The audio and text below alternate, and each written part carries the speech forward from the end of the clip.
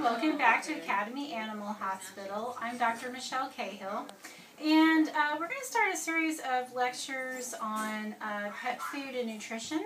You know, it's a question I, I hear a lot. You know, when you go to the pet store, go to the grocery store, it's just overwhelming the amount, you know, the amount of pet food that's available, and they're all used for all these different, all these different life stages, and it's just very overwhelming. I think for most most pet owners to decide, you know, what makes a good food, and and what should I buy.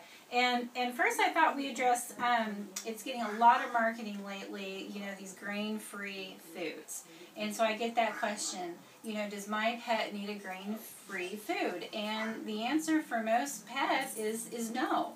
Um, it's just a lot of marketing hype for most most pet owners or most most pets.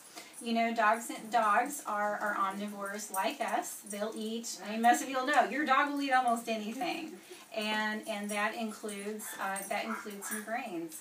And they eliminate these uh, ingredients from dog foods for some dogs that have honest uh, food allergies. But those dogs are not that that common. They're out there, but they're you know they're not they don't come in the office every single day. So um, for the average healthy healthy dog um, that's having no medical problems whatsoever, uh, grain-free food is is not necessarily the better food for your dog. So I hope that answers that question, and uh, we'll we'll talk some more about pet nutrition next week. Thanks for joining us here at Academy Animal Hospital. Bye bye.